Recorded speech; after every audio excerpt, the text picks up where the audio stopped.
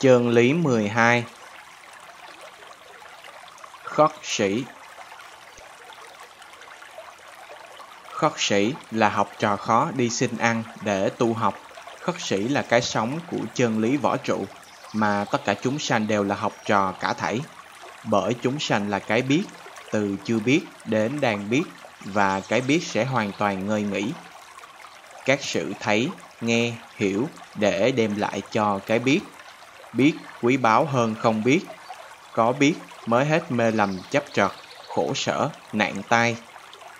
Từ nhỏ đến lớn, từ thấp đến cao, từ trước đến sau, từ chiều đến sáng. Mỗi lúc cái biết càng phân biệt, làm việc, tích trữ, lớn to và đi tới, làm cho chúng sanh càng ngày càng được thêm sự học hành. Chúng sanh đây là căn thân và chủ thức, là người nhận biết. Cho nên cái biết chủ cần phải sống, lớn, ăn, vui, yên và còn mãi mãi. Chính biết là ta, là mục đích của chúng sanh, là chân lý của cuộc đời, là tinh ba của võ trụ.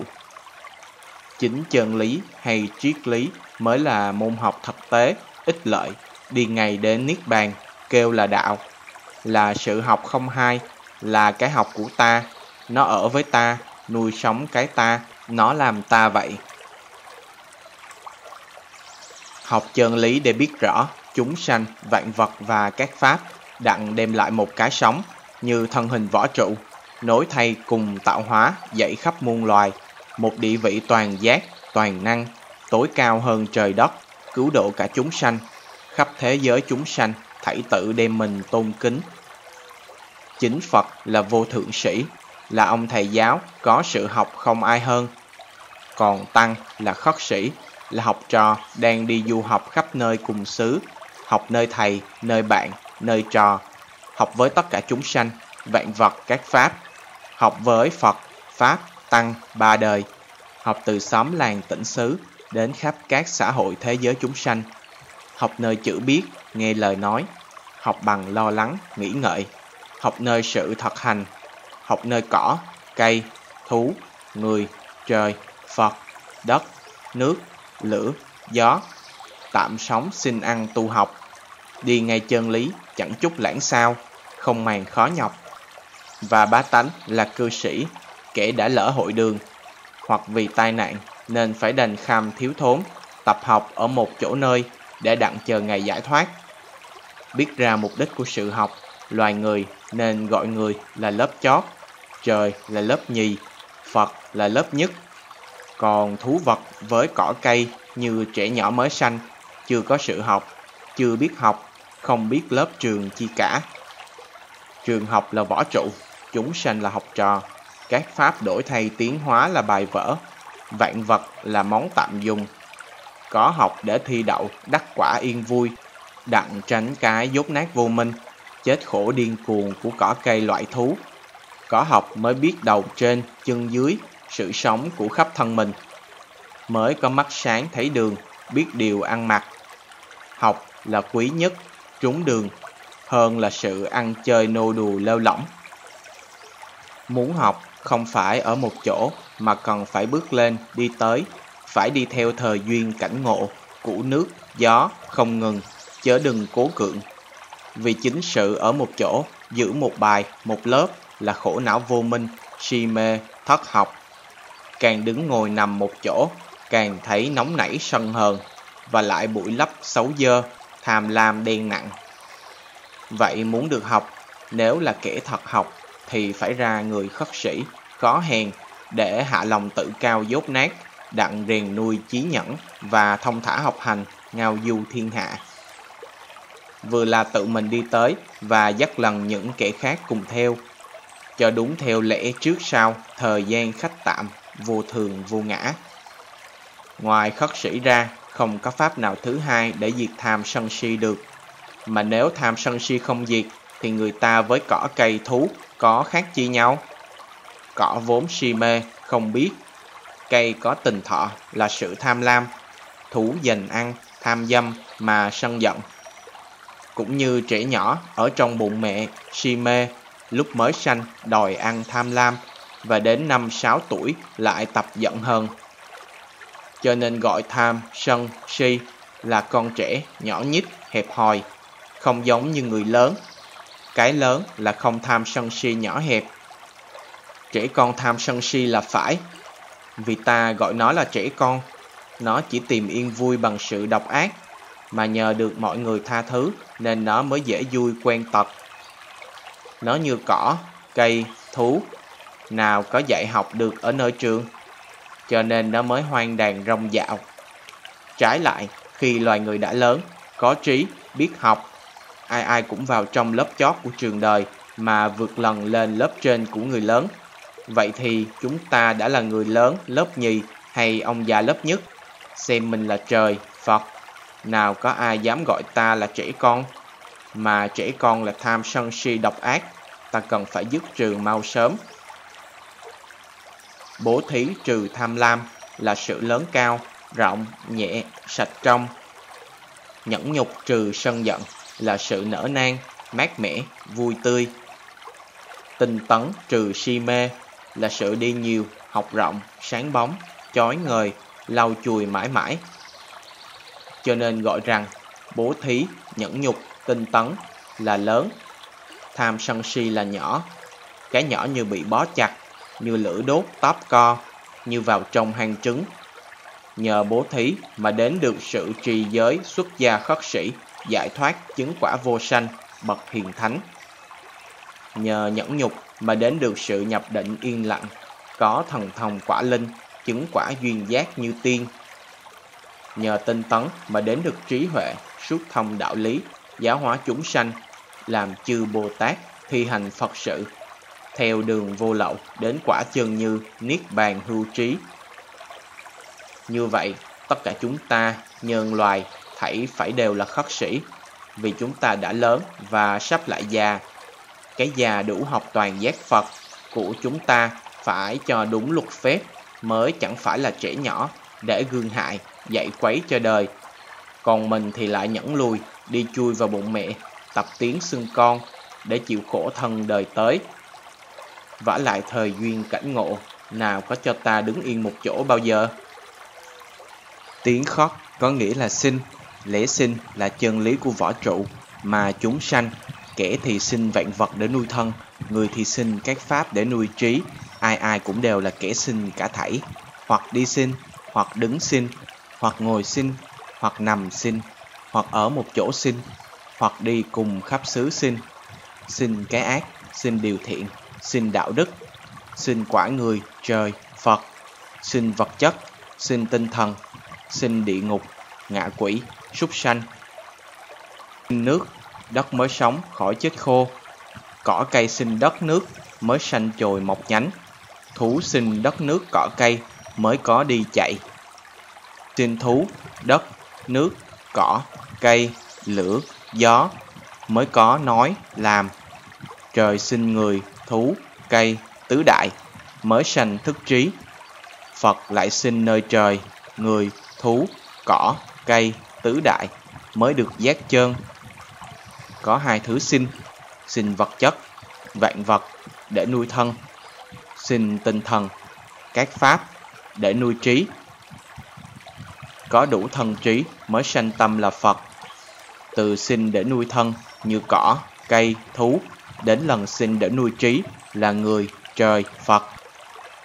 Nên tiếng khất sĩ là chỉ có nơi người, trời, Phật mà thôi. Vì thú, cỏ, cây chưa có trí để học. Chúng sanh địa vị càng cao, sinh lại càng nhiều hơn là ở lớp thấp. Như cỏ, cây chỉ có một cái sinh nơi đất, nước, chớ trời, Phật thì sinh tất cả nơi các pháp và vạn vật. Được đầy tâm đủ trí gọi là Phật, trời. Sự xin ấy có khác hơn thú, cỏ, cây để trao tâm dồi trí, học hành, xét thân bỏ quên, không lòng mến tiếc, chớ chẳng phải là sự tô đắp, nung dồi sắc thịt huyễn ngã không công. Biết xin tự người cho, xin cỏ, xin cây, xin thú, xin nơi người, trời, Phật. Mỗi mỗi đều xin lễ phép, chớ không tự mình ngang giật, như cỏ cây càng bướng chen đù. Lễ sinh thật là tốt đẹp hơn các lối ăn, ăn lén, ăn vụn, ăn thầm, ăn càng, ăn bướng, ăn cắp, ăn trộm, ăn cướp, ăn gian, ăn lận, ăn lường, ăn bóc lột, ăn trên đầu, ăn liều mạng, ăn hốt tốt, vân vân. Trữ xin pháp bảo để ăn, xin lòng tốt của người để sống, xin vật thiện để dùng. Cái xin ấy mới ích lợi cho đời hơn hết, thiện chứ không phải ác. Tất cả chúng sanh, ai cũng là thiếu sót những cái cần xin, giàu nhiều giàu ít, đều phải xin lẫn nhau trong hàng ngày. Ngay từ vua, quan, giàu sang, nghèo hèn, dân, tội, ăn mày, khùng dại, thảy đều có sự sinh cả thảy. Cái sinh trong sạch hay là cái sinh nhơ bẩn. Giáo lý ăn xin để dứt bỏ cái ta độc ác khổ não mà sống theo lẽ vô thường tiến hóa như vậy. Ta sống giúp cho tất cả và tất cả sống giúp cho ta như là một thân thể to lớn liên lạc, như bàn tay làm việc chùi lau cho cả cơ thể, chứ nó không tự rờ rẫm, săn sóc lấy nó được. Con mắt ngó xem ra khắp nơi mà không hay thấy nó, miệng ăn cho bao tử nuôi thân, chứ chẳng bao giờ giữ lại miếng ăn nơi mồm ngậm. Nghĩ là cả cơ thể đều làm việc cho nhau, sống cho nhau. Nếu một bộ phận đứt riêng rời là khắp nơi đau đớn và lần hồi chết đến Vậy nên sự dời đổi gia đình, xã hội, đất, nước, lửa, gió, cỏ, cây, thú, người, trời, Phật, vạn vật các pháp, chúng sanh cũng là do lẽ sống chung không cho từ kỷ ấy. Giáo lý ăn sinh là sự chan hòa cho nhau, tức là công lý võ trụ, là pháp bảo hay chân lý, triết lý nhiệm màu. Người này nấu cơm, người kia ăn, người khác may áo, người nọ mặc, kẻ này cất nhà, kẻ kia ở, kẻ khác lo thuốc cho kẻ nọ đau. Đời người hết sống đến chết, rồi trở lại sống và chết nữa. Cha con thay đổi, vợ chồng thay đổi, mỗi kiếp thay đổi, thay đổi để không nhàm chán, chẳng riêng tư. Có thay đổi mới nảy trí sanh tâm, càng lớn cao hay sáng thiện lành. Để tránh khỏi điều tham sân si vọng động, điên cuồng khổ sở, đặng bỏ dưới thấp lên trên cao.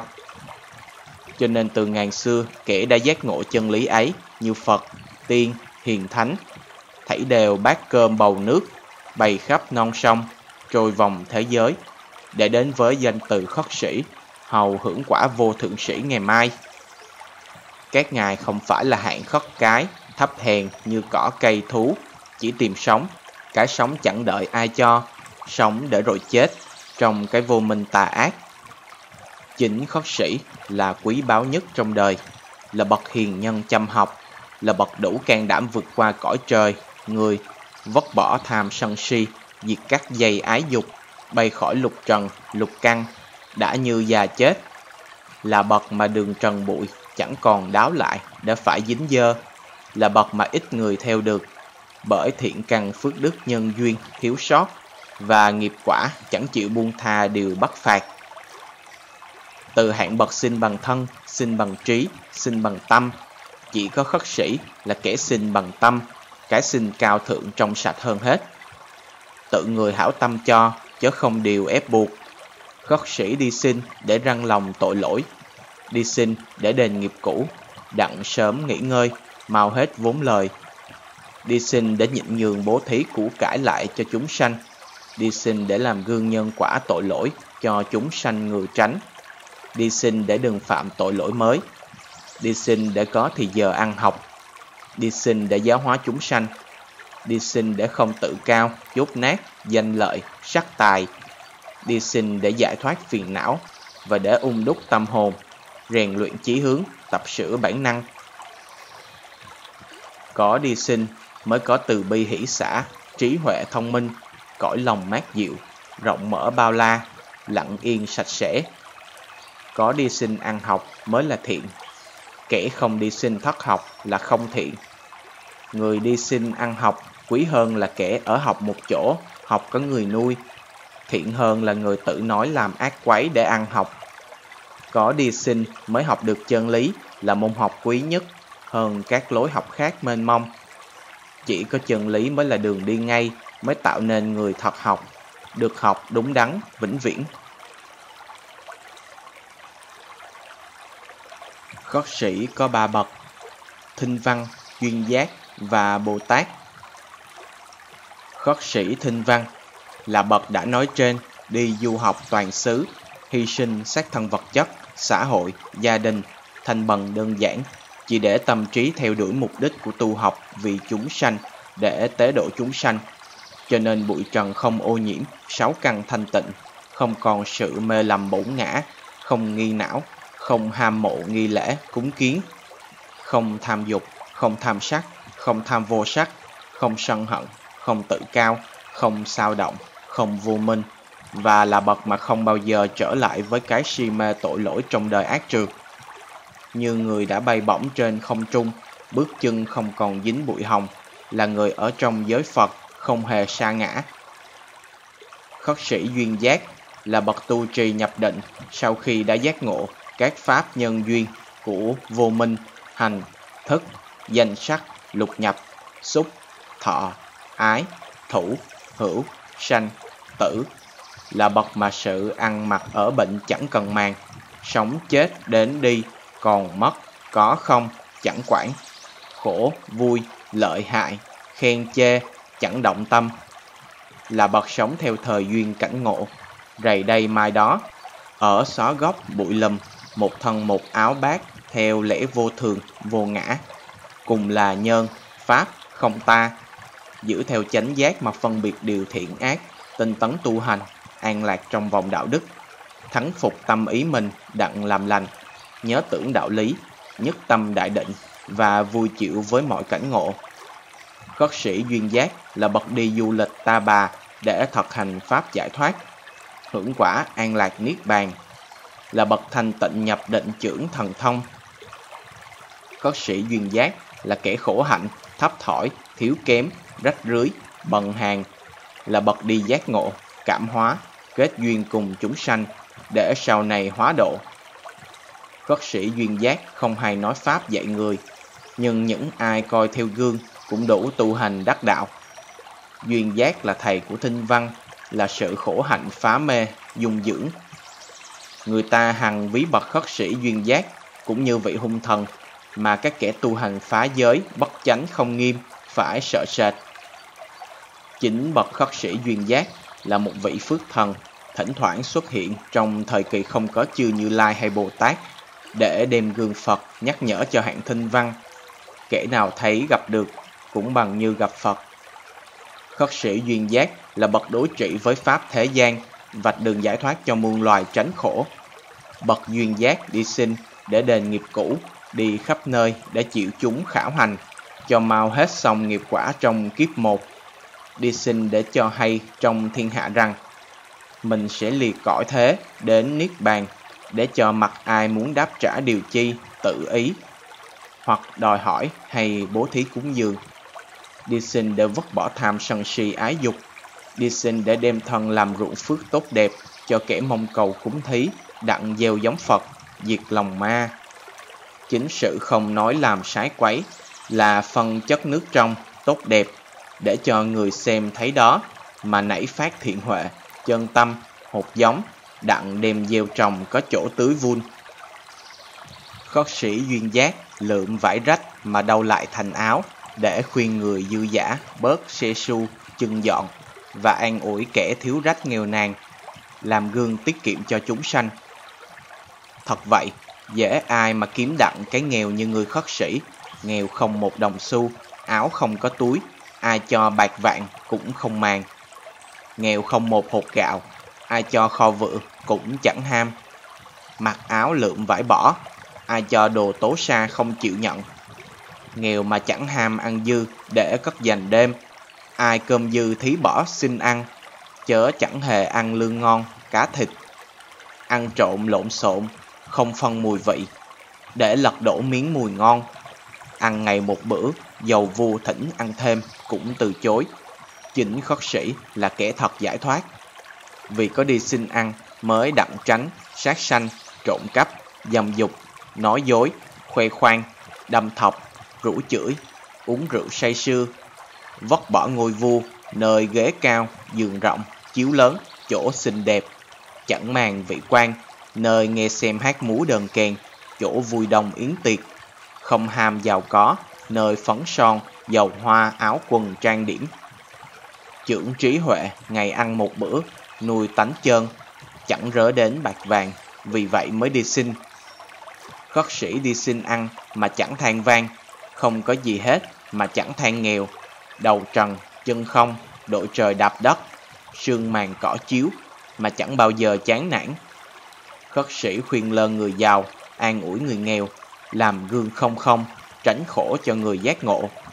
Khất sĩ cảm hóa kẻ ác, dạy dỗ người thiện, để giấu hoa sen không ô nhiễm vào nơi trí óc tâm người, vạch hàng chữ đạo, nơi cửa ngõ, đường đi, khoe sự tốt đẹp của giới hạnh, nhắc nhở sự yên úy đến cho người. Giữa cõi đời ly loạn, giữa đêm mờ tối đầy thú dữ quỷ ma, thì khất sĩ là kẻ dẫn đàn sanh lộ, cứu người giải thoát. Thần vật chất, ma cám dỗ, quỷ dọa nạt, không bao giờ hại được người khất sĩ. Bởi khất sĩ ví như kỹ già, đuôi điếc, ngọng câm, nghẹt hơi, nên không còn biết gì lo sợ. Khất sĩ là kẻ coi mình như đã chết, nên đem cái chết rồi của xác thân ấy đi du lịch giác ngộ, tìm kẻ nhân duyên. Chính khất sĩ mới kêu là đạo, vì là kẻ ở nơi đường cái, to lớn, rộng dài, không ở nơi hàng nhà hóc kẹt một chỗ. Bởi thương người tội nghiệp, kẻ khó cùng, nên khất sĩ duyên giác đầu đầu cũng hiện đến.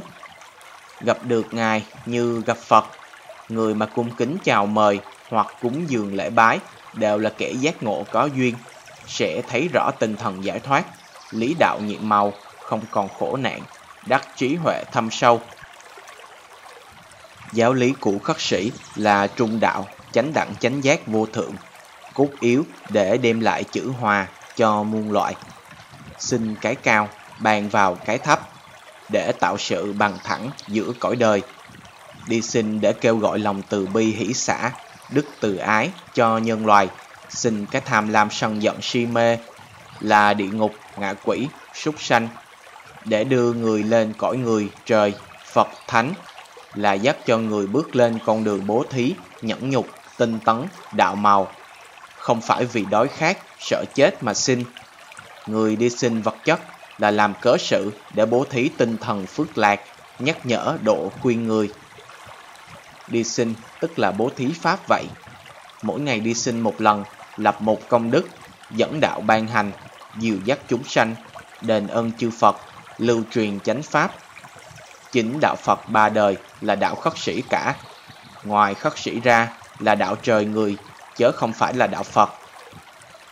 Vậy nên những ai nhà cửa tiêu tan, gia đình nát rã, thất bại đau sầu, hoặc phải điên cuồng tự vận, khổ sở truyền miên, bằng gặp đặng khất sĩ, ắt mau giác ngộ, sớm tỉnh, yên vui.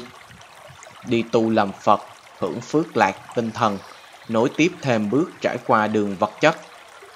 Chỉ có khất sĩ mới thực hành được chữ tu, tạo nên giáo lý sống chung giữa ta, người, đời, đạo vật chất tinh thần hòa hợp. Chính khất sĩ là chất keo hồ chảy quanh chung lộn để gắn bó tâm hồn, việc bành trí não của chúng sanh là đạo của toàn thể tất cả vậy.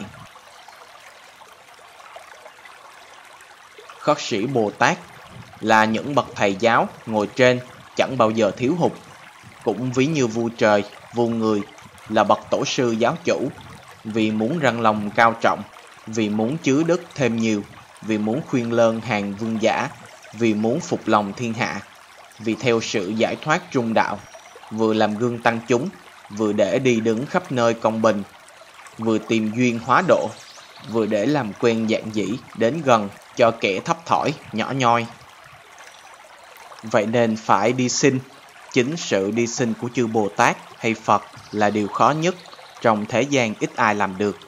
Bởi Phật là bậc toàn năng, không chi không làm được. Có khác hơn bậc hoàng đế, bá, hầu, vì thể hiện danh dự giá trị, lợi lộc, chấp mình mà phải thụt lùi từng bước, phải mãi ôm chấp cái ta, nặng nề té xa, hố thấp, trũng sâu, chịu chết thất bại, mà chẳng dám dòm xa bước tới nẻo lành. Chúng sanh mà thu Phật là bởi có việc làm được, còn có việc làm không được. Mà những việc làm không được ấy lại là việc phải đáng làm. Còn làm được là được việc tội lỗi, hư vọng. Ấy cũng vì muốn vừa lòng theo trẻ nhỏ số đông, sợ chúng trẻ con dại dột chơi cười mà không nghĩ đến sự lành của bậc ông già trí thức.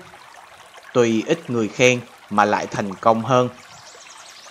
Những cái trở lực bức tường sợ sệt, yếu ớt, bắn lùi, luận bại, luân hồi ấy, chỉ có khất sĩ mới là giải thoát tiến hóa, đứng vững, thắng phục đạp ngã, mới gọi là bậc hay làm được việc khó làm, mạnh mẽ hơn chỗ của người khác vậy. Có xin ăn mới dứt được cái ăn ác tà trong vạn kiếp. Có xin ăn mới chỉ rõ lỗi được kẻ gian hung. Có xin ăn mới ra người lương thiện, mà kẻ đời thường gọi rằng văn thiện ngôn tắc bái, kiến thiện sĩ tắc cung. Chỉ có khất sĩ mới là trung đạo giữa vua, quan, giàu sang với tội dân nghèo khó. Khất sĩ không phải dốt nát mê muội ác hung tà xảo như người khất cái. Bởi khất cái là hạng mạc lưu, còn khất sĩ là bậc tối thượng vô song. Vậy nên, giàu những ai có hành được chân lý một hai ngày thì cũng khá hơn là người còn nhiều tội nghiệp. Giá trị của khất sĩ quý hơn trời người, bởi biết sự quý báu ích lợi của khất sĩ, nên xưa kia vua trời, vua người, bỏ ngôi vua, xuất gia hành đạo, mong cầu quả Phật khất sĩ là trung đạo chánh đẳng, chánh giác, vô thượng của bậc giác ngộ ông già, rất ít rất khó, chẳng hay có gặp trong đời. Chúng sanh giàu khổ nạn đến đâu, chỉ cần một người khất sĩ cũng đủ giải cứu, độ thoát cho tất cả trọn vẹn, mà khỏi cần phải số đông nhiều người, sức lực lại không xong. Trong mọi nơi nhóm họp, ngoài khất sĩ chẳng tham sân si ra, không lời nói nào được ai tín nhiệm mạnh mẽ. Trong mọi sự biến cố của gia đình, bất hòa của xã hội, xung đột giữa anh em, ngoài khất sĩ ra, không còn ai là bậc cứu tế, giải hòa can gián, vì khất sĩ có đủ ba báo, giới, định, huệ. Khất sĩ như hòn ngọc báo trong sạch, yên lặng, sáng suốt và chân không tròn trịa. Khất sĩ như vàng ngọc, nhưng bởi thân còn sống trong đời, trùng lộn thế gian như nhau, bụi đất, nên rất khó thấy, nhận nhìn vả lại, món quý thì ở thấp sâu, nên trừ phi bậc trí huệ, hiền nhân, có mắt bươi tìm, thì ít ai biết hiểu, cất gìn tôn trọng. Trong đời khốn khổ, khất sĩ là bậc đại hiền, như cây cao bóng mát. Giáo lý khất sĩ như tàu bè, xe cộ, cứu vớt chở chuyên. Chúng sanh bao nhiêu cũng không chìm nặng. Lời nói của khất sĩ như nước ao trong mát, như rồng phúng rưới mưa hoa. Đạo của khắc sĩ như bờ đê ngăn nước, như vách tường, núi đá, biển to, sông rộng. Tâm của khất sĩ như mặt nước phẳng bằng, ý của khất sĩ như nước loãng nhẹ, lưu thông. Dầu ai có mút tác đi đâu thì ý nước bao giờ cũng trở về với nước. Tánh của khất sĩ là nước mát sạch trong, là lòng quân tử. Chính sự xin ăn để tu, cùng học, bốn biển làm nhà, chính chầu lập nghiệp mới phải là đạo của người quân tử trượng phu. Đạo của khất sĩ không phải là mới. Nói cho đúng, ai ai cũng là khất sĩ cả thảy. Vì ai mà không có gặp được sự học mỗi ngày, ai mà không có sự xin nhau từ chút. Nhưng lắm kẻ mãn đu chen giành lẫn mà quên đạo lý của mình, nên học phải cái viễn vong và xin bằng lễ quấy ác, hung bạo, quên ân bỏ nghĩa mà chẳng hay dè. Thật vậy, nếu chúng ta đã được biết rằng thiện quý hơn ác và giải thoát là đạo chung, thì khất sĩ là lẽ sống của mỗi người hàng ngày. Cái sống chánh chơn tốt đẹp vô cùng linh diệu. Không cái gì sinh đặng nước, và nước không bao giờ có mất. Thì giáo lý khất sĩ cũng vậy, lúc nào cũng đang chứa khắp trong đời, và hay sinh vật chất các bụi đồ dơ, để đem dằn đáy, lót chân, tô làm bãi mé, mà tâm người khất sĩ như giữa lòng lạch, lúc nào cũng sạch, cũng trong. Dầu ai có đêm giặt món đồ dơ, thì sự yên lặng sẽ lóng dơ chìm đáy. Cùng là bị sóng gió chan tấp lên bờ. Có điều là chỗ nơi đất cao, vật nhiều thì nước sâu khó thấy, bằng gặp nơi đất thấp thì nước lại tràn vun. dầu ẩn hiện theo thời duyên, chớ đạo khắc sĩ là nước uống của muôn loài, bao giờ cũng không nhiều ít, vẫn sẵn có tự nhiên, bằng thiếu nước thánh đạo ấy, muôn loài khó ăn mà sống được. Trong đời, không có chi xấu xa bằng lòng gian ác và không có chi tốt đẹp bằng người khất sĩ. Khác phàm phu, siêu nhân loại, bậc không còn nghe thấy, nhớ nghĩ, e ngại với cảnh huống người đời.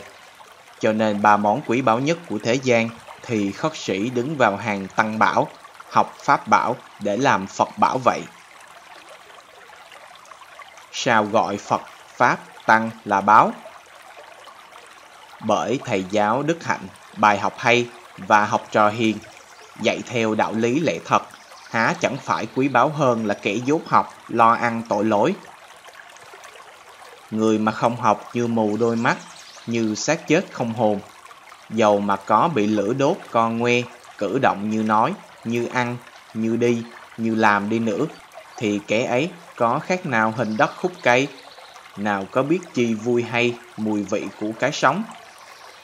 Cũng như cái máy tự động nằm trơ, chịu trận cho chủ, người, sai khiến, đập sữa, cho ăn uống chùi lau, cho đến khi hào mòn xét lũng, bị đem vất bỏ ngoài đồng hoang, cỏ rậm, là rồi ô hô số kiếp của một đời. Khất sĩ cũng như một ông thầy giáo dạy học cho bá tánh, chẳng lãnh tiền lương, giàu dạy ít hay dạy nhiều, không hề kể công so cũ. Quý nhất là gương hiền đạo đức, gương giới hạnh, gương từ bi đại lượng. Còn người vì sắc tài danh lợi mà chết khổ, vì khất sĩ hiền hân mới thật là tôn quý hơn vua, quan, hơn cha mẹ, mà là như Phật, trời, là kẻ đùm che cho muôn loài núp bóng, tránh đỡ cơn nạn khổ, bão tố, nắng mưa. Trong đời không ai nỡ hại được người khất sĩ, vì khất sĩ sống với cả chúng sanh chung bình đẳng. Khất sĩ giải thoát tu học cho mình, độ giác cho người, là giáo lý sống chung, không tư kỷ, không riêng một chủng loại nào, chẳng bỏ ai ai. Thế nên từ xưa, những người già 48 tuổi đều thảy xuất gia khất sĩ, và người nhỏ 18 tuổi sắp lên, họ đều phải đi tu học khất sĩ, hoặc đi luôn trọn đời, hoặc từ 2 năm sắp lên rồi trở lại, để đem đạo đức thấm nhuần vào trong gia đình, xã hội, mọi chỗ nơi cho êm dịu. Đời mà không đạo như rừng hoang, người mà vô đạo chẳng vui an. Vậy nên trong mọi sự thất bại, tan hoại, chia rẽ, trong mọi điều sập đổ, trong mọi cuộc hư hao, trong cơn nguy túng, trong lúc rối ngặt. Nếu không kiếp dùng đạo đức, không mau chấn lập nền tảng tăng gia, không sớm nâng cao nền khất sĩ, thì không bao giờ được trường phục vĩnh viễn, vĩnh viễn mãi cho được. Trong đời không sự hòa hợp nào bằng giáo hội tăng gia của các nhà du tăng khất sĩ không danh lợi. Khất sĩ là giáo lý muôn năm của ông già, bền dài hơn xã hội ngàn năm của người lớn và giáo lý trăm năm của gia đình kẻ nhỏ. Trong giáo hội mặc dầu không ai nhắn bảo mỗi ngày, mà các bậc khất sĩ sống chung bằng xác thân rất thuận hòa, chan sớt cho nhau, nương tạm cùng nhau, như các xã hội ông già yếu đuối. Còn tâm trí mỗi người, riêng ai nấy lo tu học, thân thì sống chung, tâm trí lo riêng. Nhờ giới luật nên chẳng hay xảo xiển, tuy luận bàn mà không hay cãi lộn, cõi ấy an lạc thông thả biết bao. Trong đời, lắm kẻ rất lầm, khinh chê đạo Phật, để phải lầm, lũi sâu vào hố ác khổ nguy, kêu la cầu cứu mà chẳng biết kêu cứu cùng ai. Có kẻ đến già chết, tam nghiệp chưa tiêu, cũng còn ghét khinh khất sĩ, để muôn kiếp phải chịu mù quáng đau sầu. Cũng có lắm người tu mà không quên danh lợi, chẳng nỡ dứt lục trần, nên bào chữa ác Phật mà chê đạo ngạo tăng, ố Phật, học pháp tà ma, lì xa chánh giáo, mà nào đâu họ có dè, ngoài đạo Niết Bàn khất sĩ xuất gia, là người ta còn đi lạc nẻo tới còn xa. Và khi bối rối cùng đường, chẳng biết phương nào tránh khỏi tà ma khổ loạn. Đạo khất sĩ là chân lý chánh pháp của trường võ trụ, là đạo bát chánh Niết Bàn. Không bậc hiền thánh nào dám khinh rẻ, không kẻ quỷ ma nào được thấu đạt chánh giáo cao siêu hơn hết. Kẻ hành đúng sẽ thành Phật, người hành trật sẽ làm ma. Thật là quý nhất trong đời. Tuy lý sự hiển nhiên như mọi bữa mà ít ai lưu tâm chủ ý, nghĩ so nhìn, cùng dám hy sinh hành đạo. Vậy nên nay bằng sớm mà ta hiểu được, đến chiều có tác giả cũng vui mừng. Dầu người tuổi đã hơn trăm, may mặc được áo khất sĩ giải thoát trong một thời cũng là duyên may mắn cho bước chân ngàn đời này đã định. Áo giải thoát mà vu quan trời thần không thể có, mặc nó vào nhẹ tợ lông hồng, trôi bay khắp võ trụ non sông, ai mà lại chẳng mong cầu ước muốn. Thế mà cũng có người lại hỏi, nếu tất cả đều là tăng khất sĩ hết, thì còn ai mà bố thí cho ai, và mặt đất một ngày kia còn ai ở? Nào phải như vậy, đúng chân lý của tạo hóa, chúng sanh sanh ra là đều sinh nhờ lẫn nhau để sống ăn học.